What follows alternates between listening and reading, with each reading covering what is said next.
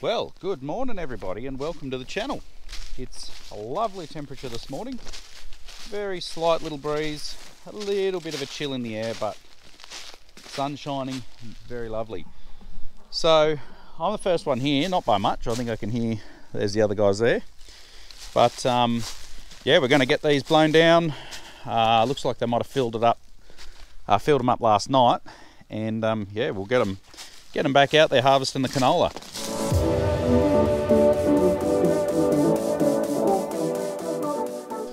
So it's been going pretty good. It's probably yielding about half of what a, a, a good crop would, but it is an exceptional crop considering, um, yeah, just the lack of rain we've had this season. So super, super thankful. But um, yeah, haven't had any issues really. Um, just a little bit of wrap around the um, smart augers, but that's to be expected. Um, but yeah, it's it's going pretty well it seems. So we'll get these all blown down, check out check them out, and um, get back into it. The big the big warriors ready for their day.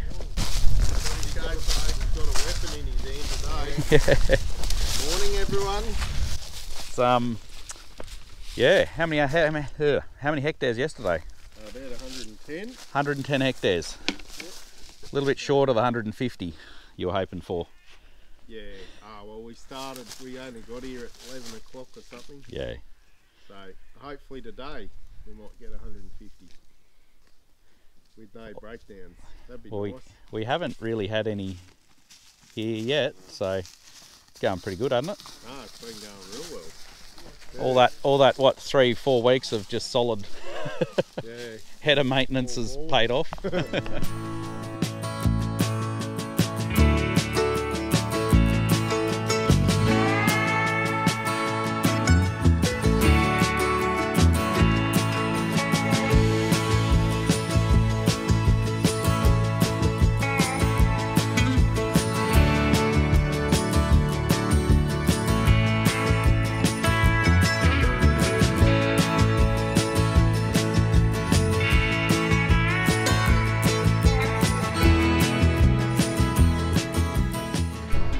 everyone's off. JD's off on the chaser bin. Brad's just heading off on the, uh, yeah, on header number two. We just had a quick little issue there. Um, the smart auger, because you can move it up and down, in and out, we didn't allow for when it's all the way in and down, the drum where the, all the um, product goes through up the feeder house, it moves up and down if you're in a bulky crop. And um, yeah, it just was hitting some retractable fingers, which wasn't great. So um, anyway, quick fix. It's all good. I'm just going to be mindful of that now until we can look at it further, and we might set the parameters of that system so it can't go down far enough where it can possibly hit. So, uh, but yeah, Phil's into it. He's down further, and yeah, I'm just. I think I'm the standby man. I'm just here waiting for something to break down. Uh, I might jump on the drag bucket here with, with the JX and I might tidy up a couple of spots of the road, but other than that, um, yeah, it's just, it's kind of that thing that is needed um, and it's a luxury that we have that a lot of people don't, where we can have someone just sort of hanging around.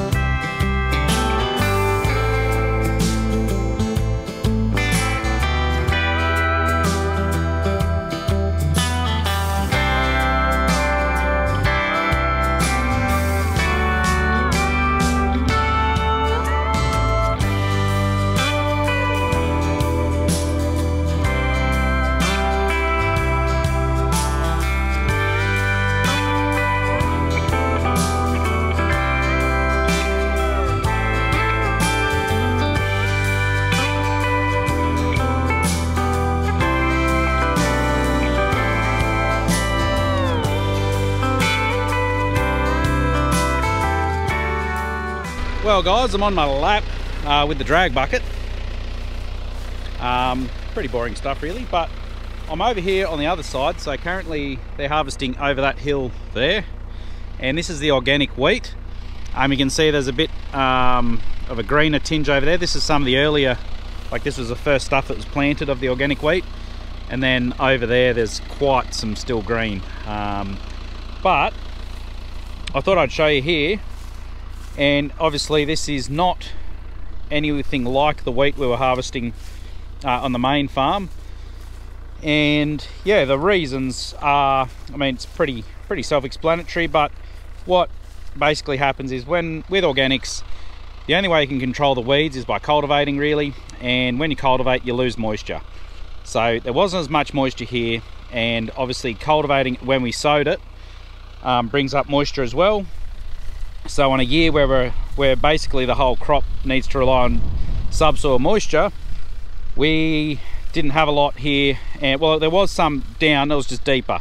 And the problem is is if it's too deep the roots can't get down to that subsoil moisture um, and then you're kind of yeah not it's not really healthy. So uh, I think it kind of did but there was enough rain to sort of get the secondary roots going and to really really get it going to get down into that moisture.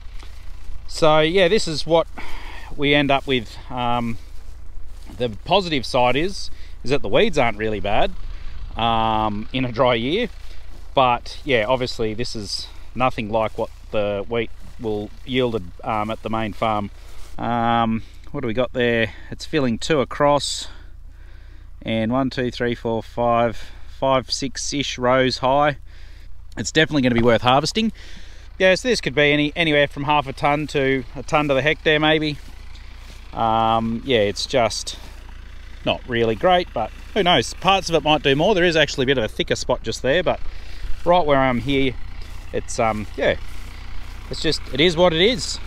Well it is mid-afternoon and harvesting still going beautiful so I can't complain what I'm going to do now is we're here at the big shed obviously at, uh, here at the development block and I'm going to assemble some of this pallet racking. Um, we're probably going to have three bays just on the edge of the cement here um, and we can stack oil underneath and then we can have parts and different bits and pieces on top of that which can be accessed from either the cement side or the other side.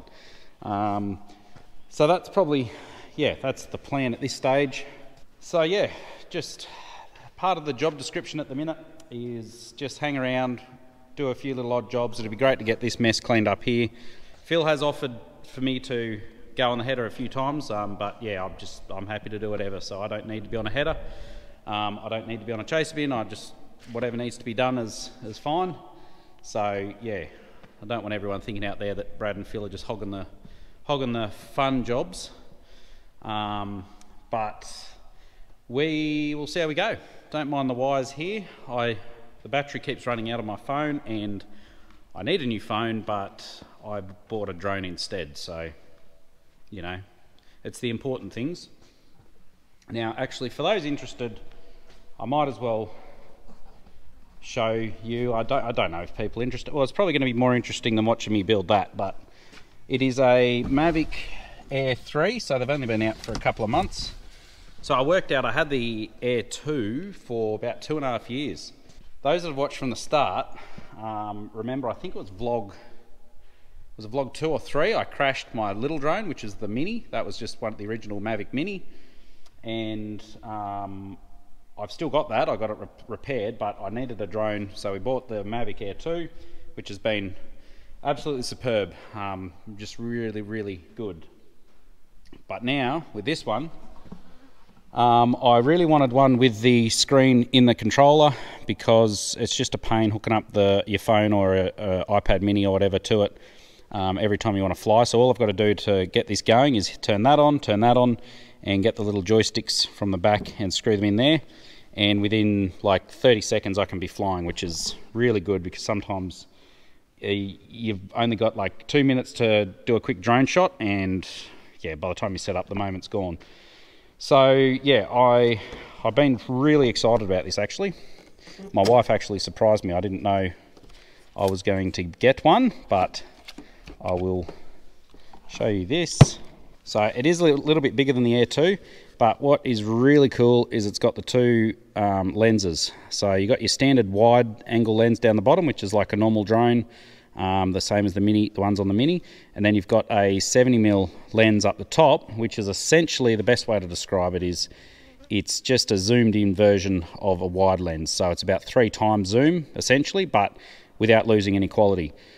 So for that, you can get really nice, and you might have already seen in some of the shots. Um, I'm just having a bit of fun playing around with, but you can sort of have that zoomed in effect, which means, um, yeah, it just gives you a bit of a different perspective, and um, yeah, really, really handy. So uh, it's also a little bit faster, uh, longer battery life. I think it's 46 minute battery life, and yeah, just really, really good as far as all of that. So I'm uh, I'm really happy with it. Uh, this isn't a drone review, by the way. I just thought people might be interested to know what I use. Um, and I am by no means a very good drone pilot. I just enjoy mucking around with them. But anyway, let's get into it. Probably the best way to do this is I will set this up somewhere and do a time lapse. I don't, the forklift isn't working, the radiator's out of that. it's been fixed as we speak. And so I'll have to do this all by hand, but I will sort of cart one at a time, just the bits I need, and start assembling it over here, I think.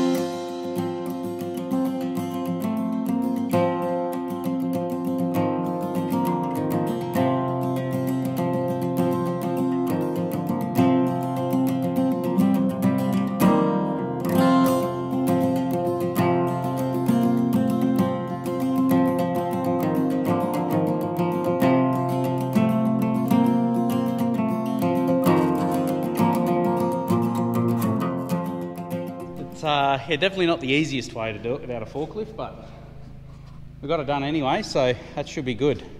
I might go back down and see what's happening with the harvesting, check that everything's all right there, and um, yeah, I might even sneak in some more drone footage. I just, I'm enjoying it.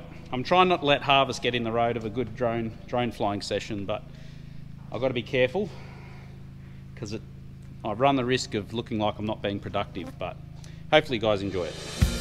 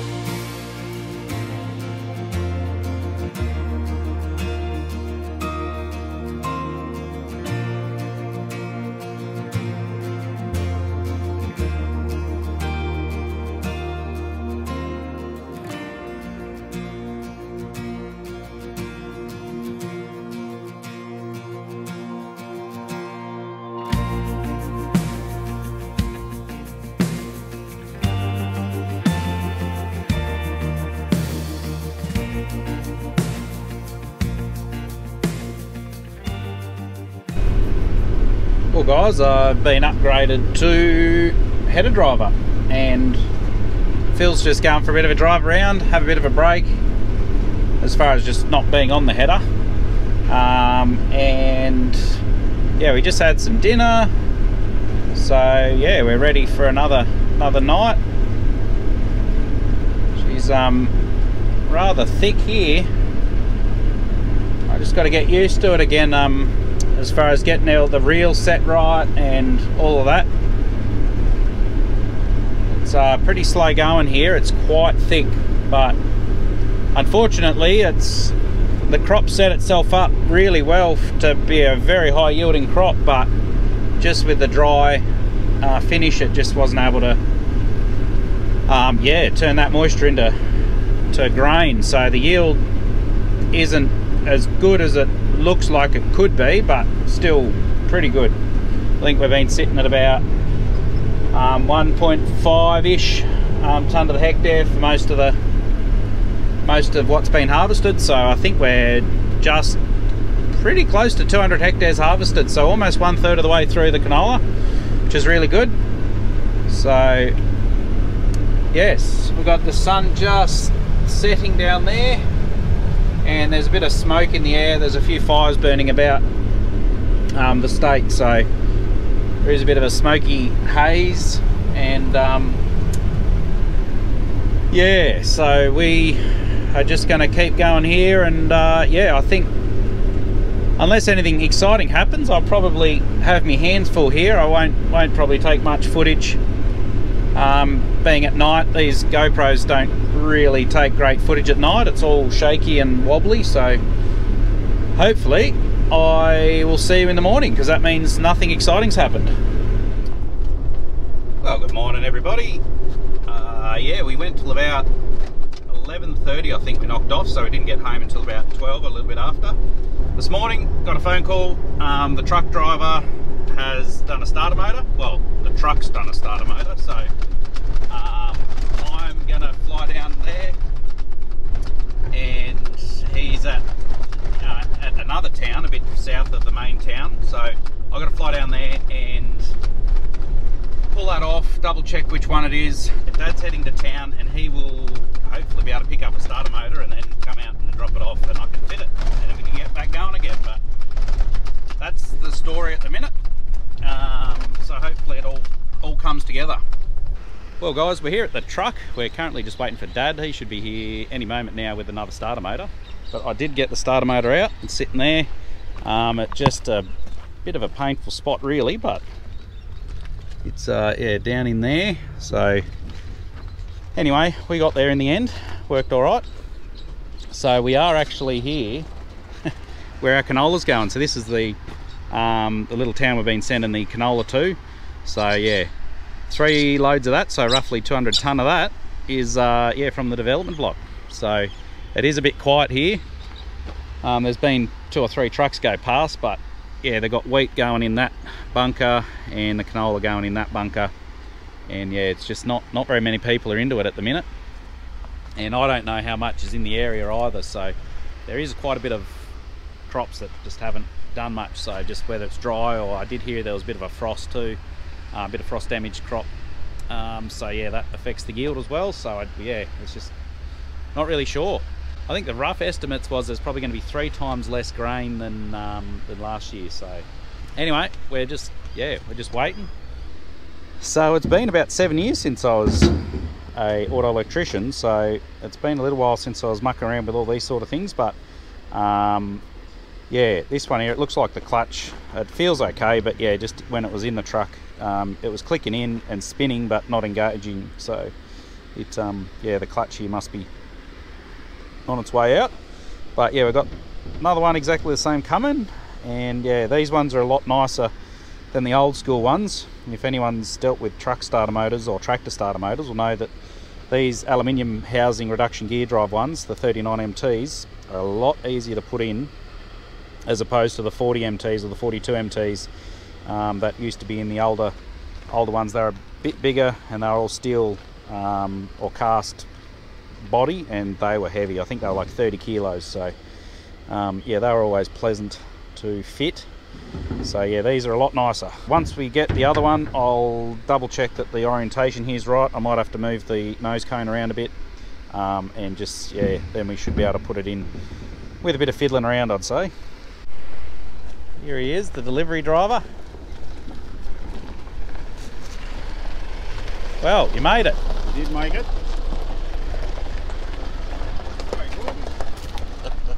You must be looking somewhere else. oh, well, bad eyesight. Hey, buddy. yeah, not How you going? You going with Pop? Yeah. This is my little boy, Eddie. Uh, you say hello. yeah. You ate breakfast anyway. No, I haven't actually. Righto. Permanent. I better swap these bits over that I need. And uh, see how we go. So that looks like I don't have to change anything. I think that's the same orientation. Do you know this fella, Matt? What's that? You know this fella? Yep, no, I introduced him. This is this is my little boy, Eddie. Eddie's, Hey, mate. Eddie's helping Pop today. And what's Pop got in his hand? This boy, he can just disappear so quick, but not anymore. No, Pop's got that sorted. no, a great idea, I say. Right, so this looks like it's ready to pop straight in. I just got to swap the that earth bit over, that plug. That should be good to go. Ready to pinch my fingers getting it in there. Righto, we got her all in. Now to see if she fires up.